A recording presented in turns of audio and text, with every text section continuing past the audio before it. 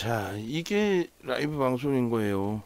SFA 반도체 가지고 계신 입장에서 사실 어제 예, 교육용에서 단기로 수정을 하고 그리고 어, 편입의 기준을 설정을 하고 3% 어제 편입했죠.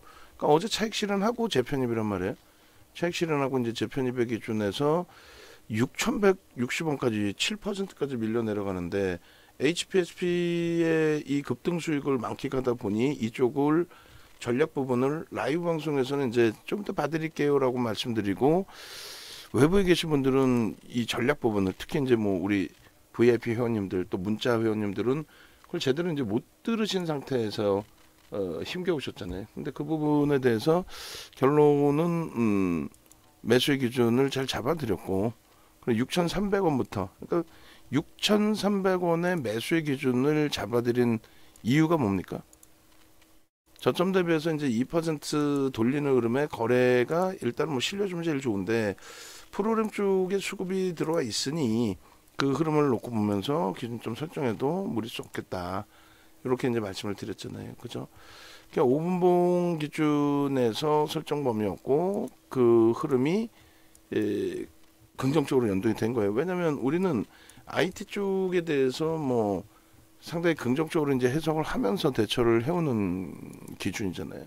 그러니까 지금도 이제 말씀드린 것처럼 어 그렇게 이제 설정을 해드린다는 거죠. 어 어떻게 6,500원, 6,300원, 6,400원, 6,500원 이렇게 분할 매수의 기준에 비중이 적으신 분들 또 어제 이제 5% 편입으로 선, 어, 설정을 해드리고 단계별로 어, 추가 편입 음, 기준 잡아서 오늘 이제 5%다 채운 거죠. 평균 단가가 그렇게 되면 뭐 6천 한 4, 500원 정도 되나요? 어, 어찌됐든 결론적으로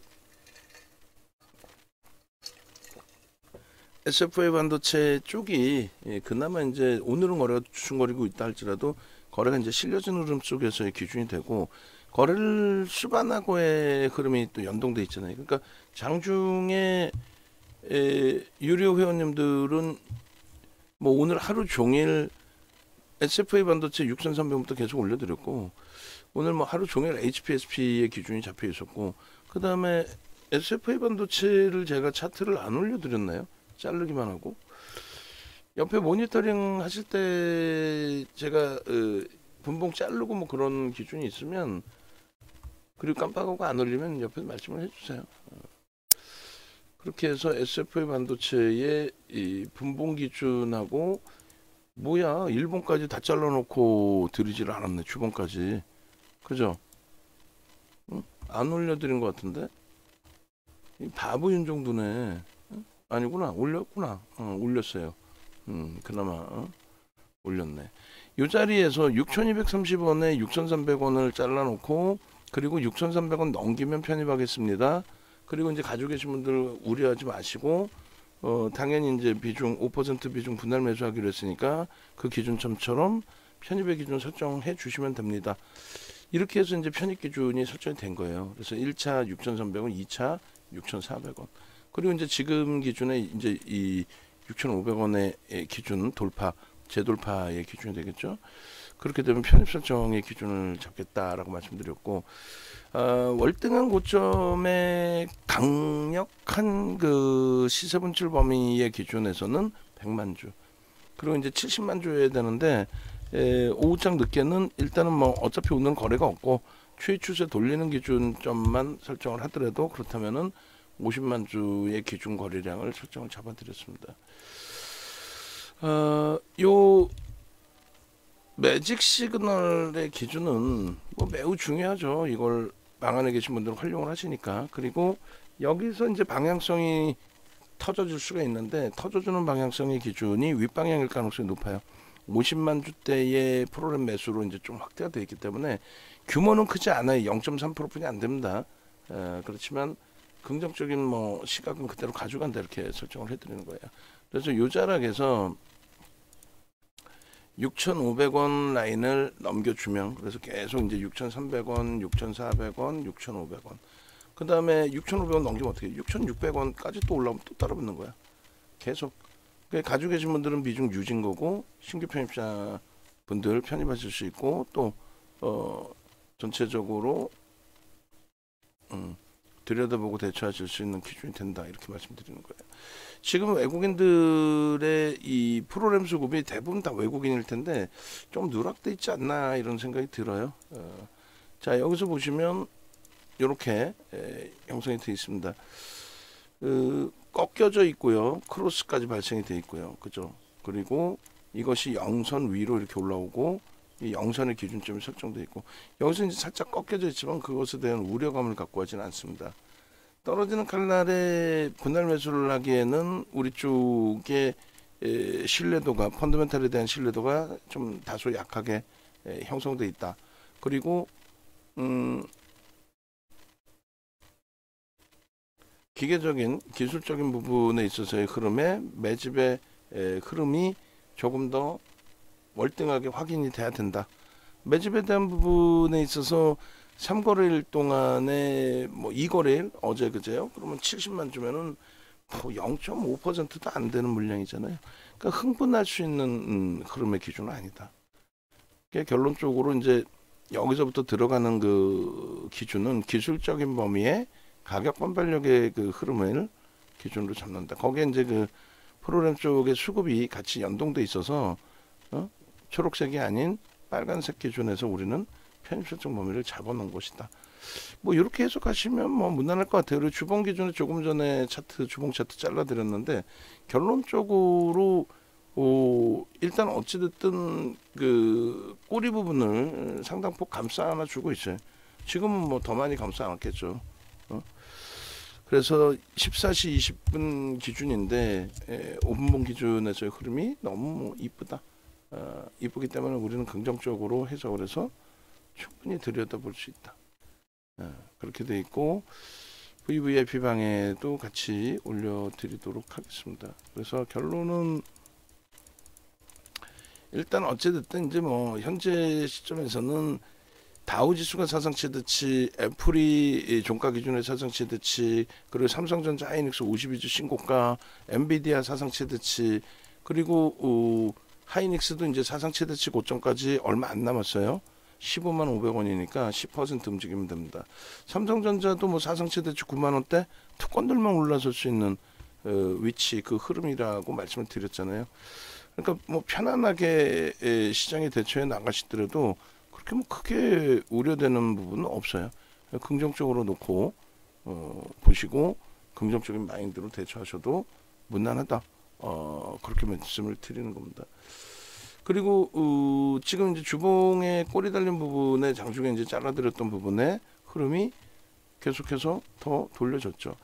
사실 그 여기서부터 여기까지의 뭐 샛별형, 석별형 다 떴어요. 근데 거래가 없어서 거래가 없어서 의미를 부여하지 않는다 그런 해석을 해드렸던 거고 장중 기준에 이제 그 주봉 잘라드릴 때도 요자락에서 잘라드렸는데 꼬리 많이 감싸는 거죠. 잘라드릴 때가 6,230원이었으니까 거기 대비해서 이렇게 올라온 거예요. 음, 상당히 많이 올라왔죠. 근데 저꼬리를 더 달고 돌릴 수 있느냐? 돌릴 수 있다는 거지. 네, 결론적으로 긍정적인 마인드 주봉의 기준에서 거래를 첫 터트린 첫 번째 주봉이 되니까 어, 거래 급감하지 않는 한 비이성적인 변동성의 비이성적인 흐름이 아닌 정상적인 추이 추세에서의 흐름이었다라고 말한다면 거래가 급감하지 않는 한 어, 무리수는 없다. 어, 나쁘지 않다. 네, 그런 맥락에서 드리는 거예요. 방송에서 계속 기준 잡아드렸고 응? 그리고 지금도 어, 편입 설정으로 잡아드리고 있잖아요. 어, 그렇게 해서 다음 주에 갭이 좀 더 한 단계 나와주면은 단기 5% 공략 부분에 대해서 어, 부족함 없이 잘 마무리될 것 같습니다. 6,500원 미리 준비하고 있는 거예요. 그래서 라이브 방송 뭐 어, 들으시는 분들은 이렇게 미리미리 대처가 가능하시니까 뭐 긍정적인 해석을 가져갈 수 있습니다. 음, 영상 어, 올려드립니다. 외부에 계신 분들은 합류하셔야죠. 그리고 라이브 방송도 계속 강조드려요. 어, 라이브 방송 계속 강조드리는 게 VVIP 방으로 합류하십시오. 지금 VIP 방에 계시면서 어떻게 대처할지 몰라서 이 종목군들에 대한 음, 수익 극대화를 뭐 특히 이제 HPSP 같은 경우에 변동성이 확장돼 있잖아요. 또 하이닉스 같은 경우에 그거 다 놓쳐버리시면 안 되죠. 그래서 요거 다 들여다 보시면서 여러분들이 함께 에, 기준을 잡으실 수 있어요. 어제 야간에 올려드린 영상 있잖아요. 그거 편입 그 뭐라 그래 편집되면은 요쪽에 올려주시면 돼요. 여기 음. main main 최상단에 메인 최상단에 그 다음에 12월 포트폴리오 전략 부분에 대해서도 뭐 어제 녹화한 게 하여간에 제대로 녹화돼 있는데 어제 녹화본을 여기다가 시리즈로 뭐 같이 넣어 놓으셔도 됩니다. 11월 포트폴리오는 돼 있고 이제 12월이 없잖아요. 그러니까 어제 어, 녹화하는 거 올려놔드려도 돼요. 그래서 오늘 벌써 이미 하이닉스나 이런 쪽에 이, 시세가 나오는 거고 대단한 거죠. 그래서 결론은 네이버에서 이 정도 검색하셔서 유튜브 오시고 그 다음에 카톡 채널이 이제 등록이 됐으니까 카톡 채널 그 잘 활용하시고 그 다음에 이제 메인 화면의 기준에서의 흐름 음, 그렇게 해서 요 메인 화면 기준에 에, 전화번호 요 가격은 월요일부터 인상시켜 놓을 거예요 10월 달에 너무 힘들다 하셔가지고 이제 조정을 해놨는데 에, 단가를 뭐 좀 다시 에, 정상화 시켜서 가격을 올려놓을 겁니다 그 부분 염두에 두시고요 어. 그렇게 해서 이제 뭐 어, 오늘 이제 그 예를 든다면 이런 건데 여러분들 계좌가 마이너스이신 분들은 특히 합류 기준을 더 어, 심사숙고하셔야 돼요. 지금 오늘은 이제 황태자님께서도 같이 올려주셨는데 뭐 케빈 선생님, 황태자님 뭐 어? 올려주신 내용이 기준이 뭐냐면 10월 14일 강연을 끝나고 어, 그러니까 황태자 선생님께서는 요거 이제 오늘 마감 이후에 스토리 올려주실 때 뭐 하이닉스 스토리든 뭐든 그래서 포스코 퓨처엠 그 수익 내셨던 부분에 대해서 음? 여기 있으려나요? 어? 포스코 에, 수익 범위를 확정을 지으시고 그게 이제 조금 일찍 확정이 됐지만 그래도 뭐 훌륭하죠. 우리 입장에서는 그 2차 전지 비중을 굉장히 크게 가져갔었고 그 비중 크게 갖고 간 만큼의 이제 수익 범위를 우리가 확정을 지었고 그리고 7월 24일 이후에 아마도 제가 알기로는 이제 그 부분도 설정을 하셨던 것 같아요. 그, 음, 포스코 DX 쪽의 수익 범위까지 다 아, 설정을 하셔서 그 수익 범위까지 이제 뭐 가지고 가셨던 걸로 제가 어, 알고 있는데 일단은 그 이후에 이제 분할 매수 하시면서 종목이 너무 많아졌죠. 열 종목까지 늘어났죠. 그 열 종목까지 늘어난 부분을 다시금 이제 정리를 잘 하셔가지고 한 번에 전부 어, 어떻게 했어요? 어, 전부 하이닉스로 주력 계좌 기준은 옮겨 놓으셨단 말이에요. 그러니까 한 종목에 다 집중했다라는 것이 그게 뭐 꼭 긍정적이다, 좋다 이런 표현을 드리는 게 아니라 일단 어찌 됐든 그 변동성 매매 계좌는 변동성 매매 계좌대로 따로 있으시고 그리고 나서 이렇게 뭐 음? 주력주의 기준에 하이닉스 한 종목을 12만 3천 원 평균 단가로 해놓으셨단 말이에요. 12만 3천 원. 그럼 지금 10% 이상 수익이에요. 2개월 동안의 계좌 수익의 기준에 10% 그게 더 오지다는 거죠. 어?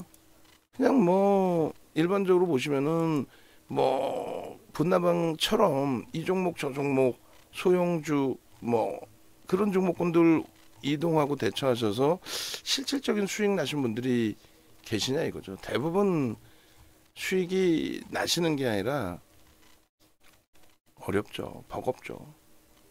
결론적으로 이제 10% 계좌 수익이 확정돼 있으시다 보니 이렇게 뭐 포스코 DX 어? 12월 13일 맨날 200만 원, 300만 원씩 뭐 어? 이렇게 수익을 계속 400만 원, 800, 뭐 얼마야? 오휴. 그러니까 이런 수익을 내실 수 있는 기준은 주력주에서의 수익 범위를 가져가실 수 있으니까요. 케빈 선생님도 나도 사람 나도 하이닉스 있어요. 어 나도 응? 자랑할래요. 이렇게 어? 이렇게 되셔야죠. 음? 지금 HPSP의 프로그램 매도 23만 주, 24만 주 수준에서 지금 많이 또 돌려놨어요. 어? 많이 돌려놨습니다. 그래서 오늘 뭐 황태 대장님 올려주신 저 내용에 대해서 어, 추가적으로 기존에 어떻게 차익 실현하셨는지 요거까지 올려주시면 되세요. 요거 차익 실현하시는 기준 그리고 그 먼저 번에 스토리 써주신 것 같은데 다운 씨가 써줬나? 어? 차익 실현 이렇게 하셨는데 요걸 바탕으로 해서 강연에 오시기 전 계좌 마이너스 마이너스 얼마였죠 그때? 8천만 원이었나? 굉장히 크게 마이너스가 나셨단 말이에요. 종목 10개로 확대되고. 강연에 오셔서 그것도 강연에도 얼마야? 응? 10분만 딱 하는 프라이빗한 강연에 거기에 오셔서 과금이 220인가요? 220까지 가금하시고 오셔서 그냥 한 방에 못 떨어지게 싹 정리 끝내버리시고 그리고 하이닉스로 딱 옮기셔서 두 달 동안에 계좌 수익 10%라는 건 그거는 이 내용을 들으시는 분들 중에 와닿으시는 분이 계실 수 있고 그렇지 못한 분도 계실 거예요. 그게 와닿아야지 그 아이고 야 두 달 동안 10% 내려고 그것도 하이닉스에서 10% 내려고 내가 유료 가입하느냐 라는 분들은 계좌 다 10%일 거예요. 다 10%신 상태. 지금 뭐 한미반도체부터 해서 여러 종목의 손이 나가고 싶은데 에, 오늘은 이제 하이닉스하고 HTS하고 집중하시자는 거고 거기에 이제 STX 반도체 SFA 반도체의 에, 편입 설정 범위도 지금 계속 잡아서 평단 뭐 6,500원, 어유 6,500원 매수 나가야죠. 저 6,500원에 이제 매수가 미리 약속을 했던 부분이잖아요. 그러니까 라이브 방송이 이렇게 중요한 거예요. 어? 6,300원부터 제대로 편입 기준이 설정이 되셔서 편입하신 경우라면은 얼마나 지금 행복한 상황이 됩니까? 어? 그잖아요. 문자 지금 나갈 거예요. 바로. 그래서 결론적으로 만들어 놓은 문자 발송을 해드리고 그리고 여러분들도 새로 가입하신 분들도 항상 행복해 하시고 얼마나 행복해요 지금 저는 무지하게 행복한데 오늘 같은 장을 위해서 오전장에 너무 체력을 소진했더니 지금 완전히 막 다운이 돼가지고 저도 뭐 체력이 한계가 있으니까 어제도 뭐 새벽 몇 시냐고 어? 많은 분들이 이 어제 장이 실망스러운 가지고 가실 때 예? 새벽까지 교육 잡아드리고 60만 주 넘겼어요 60만 주 넘기고 나서의 강세입니다 한미반도체 돌리고 있고요 우리 포트 계좌 보시자니까 얼마나 행복해 10월달 계좌 플러스 5% 요거 조금 전에 원고 작업하신 분께 뭐 말씀드린 거냐면 여기 보면 이제 매입 평균 단가 이렇게 들어가 있잖아요. 요 화면이 이왕이면 방송 화면에 나왔으면 좋겠다 이거지. 예? 저거까지. 왜냐면 헷갈려. 어, 얼마에 샀는지가 눈에 확 띄면 제일 좋고. 어, 그리고 두 번째 기준에 11월 달 포트의 기준에서 13% 시장도 아마 10% 이상 올라왔을걸요. 10월에 원체 깨졌었어서 어? 11월 계좌는 그 시장 대비해서 월등하진 않아요. 근데 여기 빠져 있는 수익이 뭐예요? 오늘 밀, 눌려져 있는 위메이드 두산 로보틱스 그 어마어마한 수익은 여기 빠져 있는 거죠. 거기에 HPSP가 오늘 사상 최대치 신고가를 넘겼어요. 그 수익도 빠져 있는 거죠. 그거 빠지고도 저 13%고 12월 포트에서도 마찬가지 위메이드 두산 로보틱스 뭐 HPSP 이 수익 범위가 빠져 있는 상태에 0.7% 마이너스예요. 0.7%. 11월 말에 하이닉스나 이런 종목군들의 종가가 아, 이게 다 11월 말 종가잖아요. 종가가 굉장히 많이 띄어져 있는 상태에서의 흐름인데도 불구하고 굉장히 제한적으로 그리고 비중 조절을 잘 해놨기 때문에 예? 그렇기 때문에 계좌 손익도 제한적으로 이 손실률이 이렇게 높아도 삼성전기나 이제 SK 하이닉스의 수익 범위가 생성되다 보니까 그죠?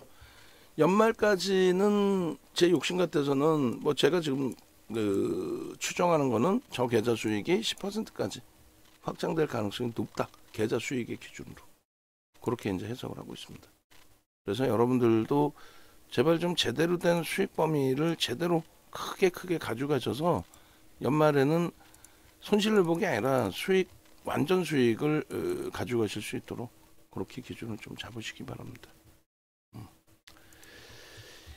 다시 한번 전화번호 올려드릴 테니까 외부에 계신 분들 합류하시고 오늘 하여간에 전화 다 드리라고 할 테니까 어, VIP 회원님들 그리고 지금 뭐 가입 문의 전화하신 분들 문의 전화만 하시면 뭐예요? 2조 원장에 예? 내일 기준에서는 우리가 여유로움이 생기고 있으니까 이런 종목군들도 내일 다 들여다 볼 수 있어요. 어? 아니 뭐 검색해 떴는데 왜 못 들어가? 어? 거기다가 2차 전지까지 검색해 떴는데 다 들여다 볼 수 있습니다. 어, 염두에 두시면 돼요.